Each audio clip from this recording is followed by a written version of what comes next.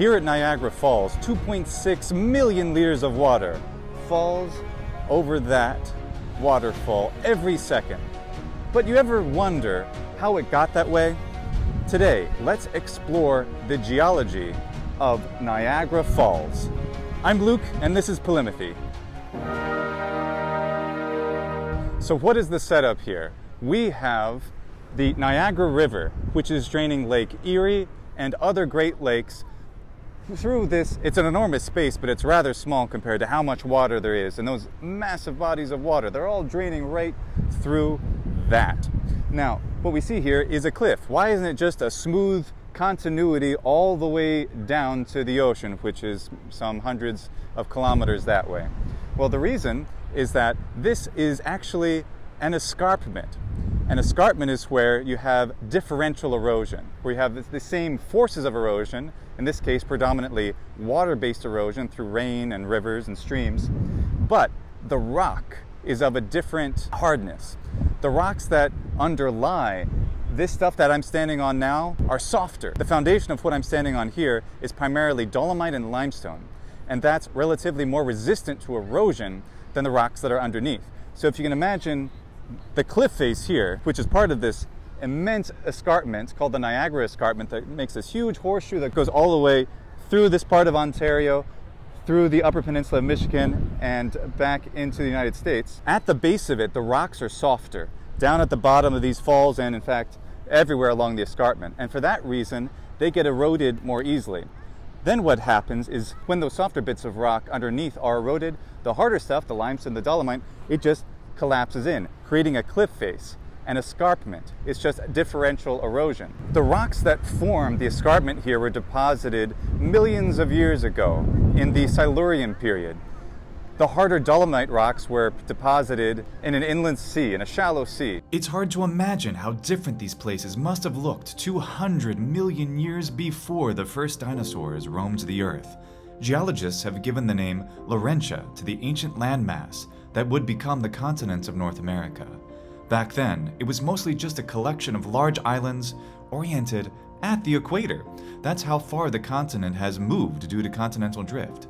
Imagine Caribbean or Indonesian tropical islands and seas.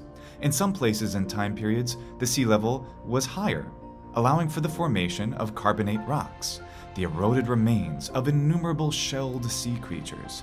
And where and when the sea level was lower, the land eroded, creating shales and mudstones. Those 400 million year old shales are what are eroding at the base of Niagara Falls, protected by the erosion resistant dolomites and limestones that were deposited when the inland sea had advanced again over top those shores, drowning the islands that once were there.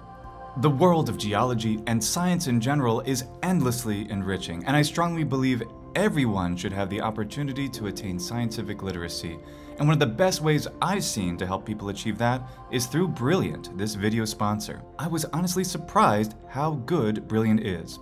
Now I have two degrees in geological sciences, so I wasn't expecting to learn so much right from the first lessons in foundational science. Here you can see some of the fun I was having with the introductory lessons that I was going through. So Brilliant has way more than I thought it would when it comes to legitimately fun and interactive courses on math, chemistry, physics, and what really amazes me here is that I feel like I can finally fill in all the gaps I have in calculus and advanced chemistry and physics that I might not have needed when I got my first degree, but that I could really use now in order to become a more professional geologist. Something else I find so exciting about Brilliant is that I feel like a kid again, and not because the concepts that Brilliant teaches are inherently easy, on the contrary, I found them challenging in a really pleasing way.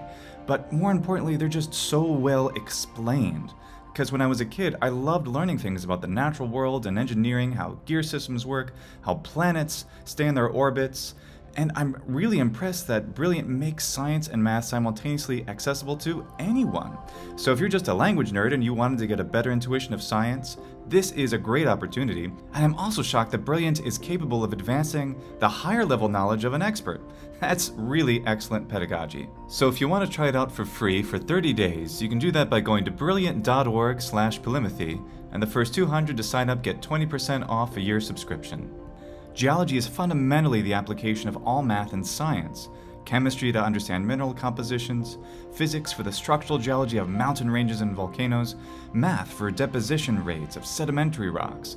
This is how we have such a vivid picture of the world in the Silurian period, when the rocks at Niagara Falls were first deposited. Bedrock exposed under the atmosphere was eroded into the basin of the ancient sea that was once here, and calcite rock precipitated from the waters of that sea, rising to cover it again. So that's how the different kinds of rocks got there. But the reason that all of this water is here has to do with glacial geology. North America used to have a huge ice sheet covering it, and the terminus of that giant glacial ice sheet was more or less here. This is where, when it would melt in the summer, it would retreat more or less to this spot right here and go all along where the Great Lakes are. The Great Lakes formed as that giant ice sheet melted. Then there's all this water there. Well, that water has to find a way out eventually. It just can't all seep into the ground. So it did eventually find a way. Life finds a way, water finds a way. Water is extremely good at finding a way. And the way it found was right here. This was the lowest point about 15,000 years ago to 12,000 years ago as the Ice Age was ending. And all of that water found a place to get out of this, essentially, this, this basin area, right at this escarpment. But it wasn't actually right here. It used to be downstream about 10 kilometers near Lewiston, New York, in Queenston on the Canada side. Well, if that's where it was at the end of the Ice Age, how did it get here? Well, waterfalls like this usually migrate because with 2.6 million liters of water crashing over the edge every second, you can imagine there's some erosion going on. Until a couple hundred years ago, the erosion rate was about a meter every year. So the waterfall would retreat by about a meter that way every year. Now, because there's been some hydroelectric dams that have reduced the water flow a little bit, the erosion rate is more like 30 to 40 centimeters a year. That's still significant. And in this diagram, we can see how the erosion has been observed over just the past few centuries. In 1678, 1764, 1819, and 1842, where Niagara Falls used to be, all the way up till the present day. That means in a few tens of thousands of years, this waterfall is going to continue to migrate that way towards Lake Erie. And eventually it'll hit some softer rocks and this dramatic waterfall where we have the, these hard rocks creating this, this nice cliff face, the escarpment, it won't be as prominent anymore in tens of thousands of years. So we happen to be extremely lucky to live in this page in the great book of geological history to observe it because just a few tens of thousands of years ago, this didn't even exist because this was all under a giant sheet of ice in some places as thick as three kilometers. In the future, the whole Niagara River will have just become the bottom part of the waterfall and it won't be nearly as dramatic, especially when it starts to cut into Lake Erie that way. But another really cool thing to imagine for all of the incredible splendors of the natural world all around us that are created by interactions of life with rock, these geological processes, just imagine how many amazing waterfalls like this have existed on the earth in different times in its history that no longer exist. And think also, millions of years from now, where will there be another amazing dramatic waterfall just like Niagara?